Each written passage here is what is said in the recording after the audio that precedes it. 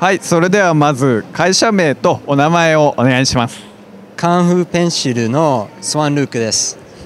スワンルークさん、はい。よろしくお願いします。そうしましたらこのブースのご紹介をしていただいてもいいですか？はい。あのーこれはあのサーフィンあサーフィンの漫画作ってるのであのサーファージョーっていうなんかササーフィンをやり方をしょあの教えて教えるためにあの書いてる。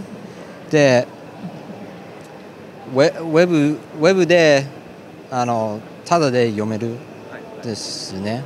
あの毎毎週水2回アップロードしてあの水曜とあの土曜日あと書いてる時も YouTube でライブストリーミングする。でいろいろ人見てコメントとか入れてあのみんな楽しく一緒に やってる。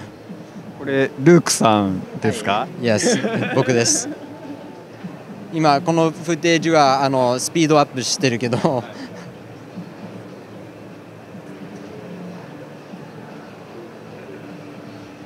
ルークさんは日本語が上手なんですけど日本にお住まいは長いんですか？あはい。20年。生まう生まれ生まれからあの生まれは宇都宮。